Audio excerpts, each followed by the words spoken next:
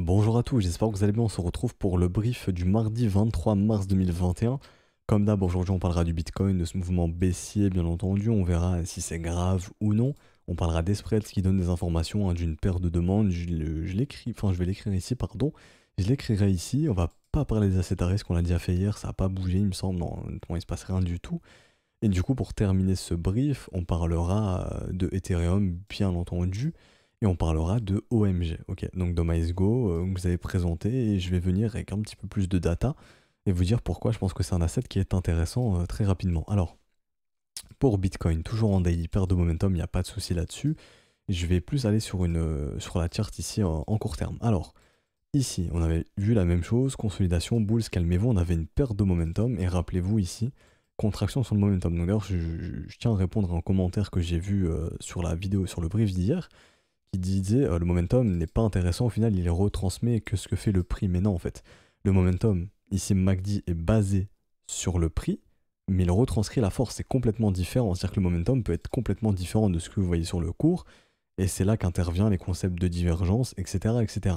Et ça, j'y reviendrai aussi après sur le RSI, mais vous pouvez trouver des, contractions, parce qu'on me dit oui, s'il y a une contraction sur le momentum, il y a la contraction sur le cours.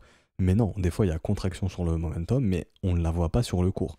Par exemple, ici, sur Bitcoin, sur cette charte, il y a une contraction sur le RSI qui dure depuis très longtemps, mais est-ce que vous la voyez ici, la contraction? Non, ça j'y reviendrai après. C'est pour ça qu'il faut vraiment dissocier euh, momentum du prix. Le momentum est basé sur le prix, certes, mais euh, il ne va pas faire la même chose que le prix. C'est là, encore une fois, que je répète, qu'intervient comme ici les, les, concepts de divergence, où le momentum fait un plus bas, le cours fait un plus haut, donc concept de divergence, perte de force, retracement, etc. etc. Consolidation pour repartir ensuite, ok? Je tenais juste à répondre à ça pour éviter euh, les, les, incompréhensions. Et donc, maintenant sur Bitcoin, c'est clair et net, c'est très simple, on a justement notre contraction ici, on l'avait vu sur le cours et sur le momentum, je suis d'accord. Et donc, ici, c'est simple. C'est entre ces deux bandes que ça se joue maintenant. Bears aux bulls. Si on vient péter ici, c'est bull, donc je le mets, bullish. Si on vient péter ici, c'est bear. Ça c'est tout simple. Je vais pas aller plus loin dans les détails. Maintenant, vous juste vous, regardez ces deux bandes, vous attendez la résolution. Qu'elle soit haussière ou baissière, ça n'a pas changé, c'est comme hier. Maintenant, je vais prendre une charte vierge ici et on va regarder ça un peu plus euh, avec précision. Ok? Donc, quelle est la structure de marché qui est potentiellement en train de s'instaurer ici? Un M-top. Donc ça, c'est signe d'une perte de dynamique côté bulls. D'un point de vue momentum sur le RSI, on est tous d'accord pour dire qu'on a une perte de momentum ici. Perte de momentum, généralement, ça se traduit par une divergence. Est-ce que la divergence, la, pardon, la divergence est confirmée ici? Pour le moment, la divergence n'est pas confirmée. Ok? La divergence est très très très très très très très très loin d'être confirmée. Hein pour que ce soit confirmé, il faut que les structures prennent forme. En revanche, ce qu'on voit, c'est qu'on a une contraction cette fois-ci sur le RSI. Et ici, c'est l'exemple parfait où on voit la contraction sur le RSI, mais on ne voit pas la contraction sur le cours. La contraction ici, elle est là, mais est-ce que ici, vous voyez une contraction? Est-ce que vous voyez? Un triangle être formé ici Du tout. En fait, un triangle, c'est ça, c'est une contraction. Hein. C'est aussi simple que ça. Donc non, ici, on a clairement un marché qui monte, mais sur le RSI, contraction. Donc quelle est l'information qu'on a ici? Un énorme, un gros mouvement se prépare ici. Un retour de volatilité se prépare. Quand je vous remontre la volatilité ici, je passe en arrière, on voit ici que clairement on est sur une volatilité quand même qui depuis, euh, depuis maintenant février ne fait que baisser. Depuis fin février, ça fait un mois que la volatilité baisse. On s'en fout du RSI ici sur la volatilité. Mais on le voit, la volatilité baisse ici. Donc on est proche de retrouver un, un retour de volatilité ici sur Bitcoin. ok? Donc je retourne sur le prix qu'est-ce qui nous indique ça? C'est le momentum. Ok? C'est le momentum qui nous indique justement ce retour de volatilité imminent. Donc, si résolution haussière, le retour de, volatilité sera haussier aussi. Donc la volatilité sera haussière, on aura un gros squeeze haussier, un mouvement haussier. Si résolution baissière de cette contraction, il faudra s'attendre à un mouvement baissier. Si ce M ici prend forme, juste ici, hop, hop, hop, faudra s'attendre à un mouvement baissier. Et donc, quels sont les objectifs? Je vais juste parler, enfin je vais en parler de deux ici, je ne vais pas aller plus dans les, dans les détails. Simplement, dans une tendance haussière, généralement, le creux, comme je le répète souvent, s'instaure soit sur le premier arrêt, soit en zone de rechargement. Ici, on est déjà sur le premier arrêt, donc il y a deux possibilités. Soit le premier arrêt tient, ici on repart directement, et donc dans ce cas-là, c'est résolution, pardon, c'est résolution haussière ici sur le momentum, très bien pour les boules, vous avez gagné, bravo. Sinon, si le premier arrêt cède, très probablement que ce sera direction zone de rechargement. Et donc proche du bottom, enfin du creux précédent, donc proche des 43 000. Et donc dans ce cas-là, on reviendra faire un petit tour ici. Ok, on, revient, on reviendra pardon, faire un petit tour juste ici. On ne peut pas savoir. Si M prend forme, dites-vous qu'il est très très probable de retrouver un Bitcoin qui revient très probablement rechercher ici. Hop. Donc très proche de ce niveau. Donc je, prends le, normalement j'aurais dû prendre le corps de chandelle ici pour vous montrer avec le creux, hein, mais je le prends ici parce qu'on voit que c'est un niveau qui est défendu aussi ici. Et donc ici aussi. Donc probablement qu'on viendra entre les 44 800 et les 48 000 dans un premier temps. Donc retrouver ces zones juste ici. Et pour assurer les investisseurs au long terme, vous faites toujours ça, vous tracez votre fib du bottom jusqu'au top. Donc ici le bottom, le sommet de marché, et vous regardez où se situe le premier arrêt. Le marché restera haussier tant qu'on sera au-dessus de celui-ci. Donc d'un point de vue probabilité, ce qui sera le plus probable, bien entendu, c'est un nouveau sommet. Donc ici, vous regardez ici, est-ce qu'on avait cassé le premier arrêt Non, nouveau sommet de marché. Est-ce qu'ici on avait cassé le premier arrêt Non, nouveau sommet de marché. Donc tant qu'on ne le casse pas, nouveau sommet de marché à prévoir. Je fais souvent ça, mais je vais le refaire, hein, parce qu'il y a beaucoup de nouveaux aussi, il faut le refaire. Et je vous montre le cycle de 2015, qui a débuté du coup sur le bottom de 2015. Vous regardez à chaque fois. Premier arrêt, est-ce qu'il a cédé ici? Non. Toujours haussier, nouveau sommet. Est-ce qu'il a cédé ici? Non. Premier arrêt bien maintenu, nouveau sommet. Est-ce qu'il a cédé ici? Non plus. Premier arrêt maintenu, nouveau sommet. Vous regardez le sommet de l'été du coup, euh, enfin du coup de juin 2017. Est-ce que le premier arrêt a cédé? Non. Nouveau sommet derrière. Même chose ici. Est-ce que ça a cédé? Non. Nouveau sommet derrière. Encore une fois, ici. Est-ce que ça a cédé? Non. Nouveau sommet derrière. Et ici, est-ce que ça a cédé? La première fois, non. La seconde fois, oui. Quelle structure de marché voyez-vous en plus? M-top. Donc ça, inversement de la dynamique, bear market, baissier pendant 18 mois. Comment on inverse un M avec un W Le W se pose ici. Et de nouveau, on retourne dans un marché qui est haussier, ok? Ensuite, M ici, phase baissière. Donc ici, on a retrouvé une dynamique baissière. On n'a pas réussi à péter le, bottom qui était trouvé ici. Quelle structure s'instaurait? Énorme W. Gros bull market, ok? Donc ici, est-ce que pour le moment, vous voyez un M-top Du tout. Donc il n'y a pas de signe de sommet. Est-ce qu'on a pété le premier arrêt? Non plus. Donc est-ce qu'il y a un signe de sommet ici? Non plus. Ok? La seule information qu'on a, c'est que certes, on a une perte de momentum. Donc c'est pour ça que je vous dis depuis, euh, plusieurs jours, depuis plusieurs semaines maintenant, qu'il ne faut pas s'attendre à voir un Bitcoin euh, repéter comme c'était le cas ici, quand on montait tous les jours et tous les jours. Non, on a un momentum qui est faible. Donc on va monter doucement, mais sûrement on va consolider, et jusqu'à ce qu'on reprenne un momentum qui redevienne fort. Ok? Donc là, on a, on a potentiellement l'opportunité de retrouver un momentum fort si ce W s'instaure si on voit ça sur le RSI, on va se dire ok, on reprend un momentum qui est fort. Et donc dans ce cas-là, attendez-vous à avoir un Bitcoin qui reprend une hausse euh, assez poussée quand même. Ok, on reprend un momentum fort, on repartira fort. Donc là, on va surveiller ça pour les prochains jours et prochaines semaines, mais pour le moment, c'est pas du tout le cas. Et donc en daily, quand on passe en daily, toujours on est dans l'attente de la résolution de cette contraction ici sur le momentum. Je la redessine, on attendra de voir si elle est haussière ou baissière. Donc je vous trace les niveaux euh, de, validation. Euh, côté bear et niveau de validation côté bulls. Hein. Donc c'est ici. Donc ça c'est côté bears. D'ailleurs je vais mettre les templates. Je vais vous mettre bear ici et bear ici et je vais vous mettre bull ici. Hop et bullish de l'autre côté aussi. Ça je vais bien prendre le sommet comme ça. En plus de précision, merci bien. Et donc ici pareil, bull ici. Et donc on attendra de voir qui va gagner des bulls ou des Bears. Je peux pas vous dire encore une fois, c'est 50-50. Si le M prend forme ici, euh, c'est probablement une victoire des Bears, donc faudra s'attendre, comme on l'a vu, un petit retour proche de cette zone dans un premier temps. Et ensuite, on verra si on a besoin de retracer plus ou non, ok? Tout simplement. Euh, et donc maintenant, je vais aller un petit peu plus vite parce que je dois poursuivre avec les élèves et j'ai pris pas mal de temps à leur expliquer pas mal de concepts, donc ça, on s'en fout. On va aller du coup sur les spreads rapidement. Quelle lettre se dessine sur les spreads Du M? Pas bon signe ici. Ça annonce qu'on a une perte de demande côté spreads. Pareil, signe de consolidation, ok Le M pourrait se dessiner, on va voir s'il va, se dessiner sur le prix. S'il se dessine sur les spreads aussi, c'est pas tellement bon signe. Donc ça, je vais le noter aussi. Je vais mettre euh, les petits pointillés. Donc on verra si ça se confirmera. Donc ça, je vais le supprimer. On va mettre perte de demande ici. Donc tout simplement, consolidation. Quand, on a une paire de demandes dans un marché haussier, ça n'annonce pas un mouvement baissier, parce que la demande reste supérieure à l'offre, hein, ça annonce, enfin ça n'annonce pas un bear market, un marché qui passe dans un état baissier, non, ça monte, ça, pardon, ça indique de la, consolidation, et c'est la même chose sur Ethereum ici. Pareil, paire de demandes, consolidation, ok. Et donc, donc je vais mettre la flèche comme je l'ai fait euh, juste avant, comme ceci. Et donc, ici, par exemple, XRP est différent. Et là, vous devez vous dire, il nous casse les couilles avec XRP, comme je l'ai dit hier. Mais non, parce que ici, c'est différent. Est-ce que vous voyez du M? Ici, non, on voit du W.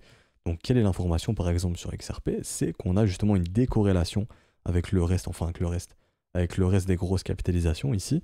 Euh, parce que LTC aussi, on a une paire de demandes sur les spreads. Ici, on a des spreads haussier. Donc, qui dessine, ces spreads dessinent quoi? Des W. Quelle est l'information ici? Augmentation de la demande. Et on voit que la charte est différente, par exemple, entre... Euh, c'est pas ici. On voit que la charte est différente. Donc là, je suis en daily et je passe, je passe en daily partout. Hop. Je vais tout cacher ici, les schémas. Je passe en daily ici aussi. Ça, je vais retirer maintenant, on s'en fout. Hop, on voit ici. Quelle est la lettre qui se dessine sur Ethereum? Vous le voyez maintenant? Du M qui se dessine sur Ethereum. Quelle est la lettre qui s'est dessinée? Enfin, non, ici c'est pas tellement propre, mais comment est le mouvement de Litecoin ici Il est baissier. Et donc, comment sont les spreads et même Bitcoin Comment est le mouvement ici Pardon, c'était ici du coup. Quelle est la lettre qui pourrait, je dis bien pourrait, on va voir que ça s'instaure, c'est aussi du M. En tout cas, ici le mouvement est bien baissier. A contrario, comment sont les spreads sur XRP Ils sont haussiers. Comment est le cours Il est aussi haussier ici. Quelle est la lettre qui s'instaure sur XRP Du W. Ok Simplement. Et du coup, pour revenir sur lui, comment ça s'explique Parce qu'il se met un petit peu à surperformer aussi euh, le Bitcoin. XRP BTC reprend de la valeur. Et donc, quelle est la structure qui pourrait s'instaurer ici? C'est un potentiel W. Si vous voyez le W s'instaurer sur XRP, c'est à ce moment-là qu'il va se mettre à exploser contre le dollar. Et ce qui est euh, assez drôle, entre guillemets, j'en parlerai plus ensuite, mais bon, là, c'est vraiment c'est cadeau encore une fois. Quel est euh, du coup, comment dirais-je? Quel est, non, c'était pas ici pour le coup. Euh, si, si, c'était ici, c'était bien, bien ici. Hop, je vais juste mettre l'aimant, sinon ça va être galère. Quelle est la structure qui s'est instaurée ici? C'est du W, ok. Hop, hop, hop, hop. Et donc ça s'est confirmé quand? En mars 2017. Quelle est la structure potentielle qui pourrait justement s'instaurer ici? Un W qui pourrait s'instaurer quand? Fin mars potentiellement. Et généralement, quand on voit une décorrélation entre XRP et les autres assets, c'est à ce moment-là qu'il aime bien euh, prendre un peu de valeur et attirer l'attention sur lui. Mais bon, ça aujourd'hui, on s'en fout, je parle pas de, cet asset, c'est juste pour vous montrer, encore une fois, la pertinence des spreads et l'indication qu'il donne. Ok? Donc je remets l'asset ici. Et donc, euh, c'est pour ça qu'on voit justement des structures différentes. Ok? Parce qu'on a une demande, la demande est croissante sur XRP et sur Bitcoin et Ether, ça diminue un petit peu, donc consolidation. J'en parle plus. Donc Ethereum, ici. Quelle est la structure qui s'est instaurée dans cette zone de rechargement de short? Du M. Est-ce que c'est bon signe pour les acheteurs? Non. Donc là, on attend de voir si, le premier arrêt va être maintenu. S'il cède, attendez-vous un retour euh, pareil, comme j'ai dit sur Bitcoin, un retour d'Ether proche ici, entre, dans un premier temps, entre les 1548 et les 1430 dollars, ou un retest du premier arrêt. Et donc là, je vais changer de chart. Non, en réalité, je vais garder celle-ci. Maintenant, il y a deux scénarios sur Ethereum. C'est le premier, ces résolutions haussières, on part en W comme ceci. Là, c'est gros mouvements de continuation et attendez-vous à très rapidement voir un Ethereum se diriger euh, proche des 3000 dollars. En tout cas, dans ces zones d'extension, premièrement entre 2005 et 2007, et ensuite entre 3002 et 4000 dollars. Côté, euh, c'est où que j'avais mis ça? Je vous montre ça rapidement. Hop, côté intérêt sur les options cette fois-ci. Donc je vais mettre ça ici. Je vais aller sur Ethereum. Euh, ce qui est intéressant de noter, c'est qu'on a un gros gros niveau d'intérêt pour fin juin sur les 4480. Ça ne veut pas dire qu'on va y être. C'est-à-dire que beaucoup ont misé de l'argent sur ce niveau et qu'on pourrait potentiellement y aller fin juin à 4480 dollars. Moi-même, je ne sais pas. C'est juste un truc qu'on a vu sur les options tout à l'heure avec les élèves. Mais bon, ça c'est juste euh, pour vous, pour vous parler des, des options d'intérêt. Ça ne veut pas dire qu'on sera 4480, je tiens à le préciser. Ok? Donc, Maintenant, il y a deux scénarios. C'est soit ici W, on part en mouvement de continuation, et là, attendez-vous un sacré rallye sur Ethereum, donc euh, probablement pour tout le printemps, et peut-être même en été, sait-on jamais. S'il y a du M ici qui s'instaure, qu'on perd le premier arrêt, attendez-vous un mouvement très très très très très très très moche et sanglant sur Ethereum. Et donc très probablement qu'on reviendra faire un petit tour ici. Si vous voulez mon avis d'un point de vue probabilité, pour moi ce qui est le plus probable, vu ce qui se dessine sur l'ensemble du marché, c'est plus la continuation, donc l'explosion d'Ethereum pour les prochaines semaines et prochains mois. Maintenant, ce qu'il faudra surveiller, bien entendu, si on y va, c'est cette zone de rechargement et de voir comment le prix va réagir proche ici. Il faut vraiment que les acheteurs repoussent le prix si on vient ici pour maintenir le premier arrêt et euh, pouvoir partir sur de la continuation. Ok Voilà, je voulais juste dire ça sur Ethereum. Et pour clôturer ce brief sur OMG, OMG a une dynamique très intéressante, une localisation qui est toujours très intéressante. On est au niveau de la zone de rechargement long terme, hein, donc du bottom jusqu'au sommet euh, qui a été trouvé du coup en 2018, si je dis pas de bêtises, ou à début 2018. Donc tout ça, c'est encore jusqu'où la smart money euh, pourra se permettre d'accumuler, si elle veut accumuler de l'OMG, ou les baleines, ou peu importe. De ce que je vois, pardon, sur Glassnode, ici vous avez les 1% des plus riches, euh, que font-ils Eh bien on voit que les 1% des plus riches détiennent 86% des jetons, donc des tokens, et on voit que cette courbe est croissante. Donc quelle information on a ici? Les whales, donc les baleines, appelez ça comme vous voulez, ne sont pas en train de vendre ici. Les baleines sont en train de toujours d'accumuler puisqu'ils augmentent leur bague d'OMG dans leur wallet. Donc c'est très bullish, c'est un peu ce que je vous ai montré hier sur, sur Rep, sur Augure. Et on m'a demandé si Rep V2 ou Rep, hier je parlais de Rep tout court, hein, pas Rep V2, pour revenir là-dessus. Mais c'est comme sur Rep, on a une dynamique qui est très intéressante. Il y a du W qui s'instaure, qui s'instaure pardon, un peu partout ici. Vous voyez W ici, W, W, et donc le signal ultime maintenant, ce sera de venir péter les 9,50$, mais honnêtement, la localisation ici est très très très très intéressante, et idéalement la localisation parfaite était ici, sur du coup les 4,43$ euh, pour acheter ce W, mais honnêtement la localisation est encore très bonne ici, et si vous êtes encore plus pointilleux, vous avez la zone de rechargement du mouvement entier entre 2,28$ et du coup 3,80$ environ, mais je ne sais pas si on y retournera, bien entendu. Ok, mais quoi qu'il arrive, on a une dynamique très intéressante. Et des baleines qui continuent d'accumuler ici. Et vous êtes sur un asset qui est encore majoritairement horizontal. On ne peut pas réellement parler de verticalité ici, hein, puisque depuis août, on est bloqué euh, entre 9,50$ grosso modo et 2,50$. Euh, Donc oui, c'est assez volatile, entre guillemets.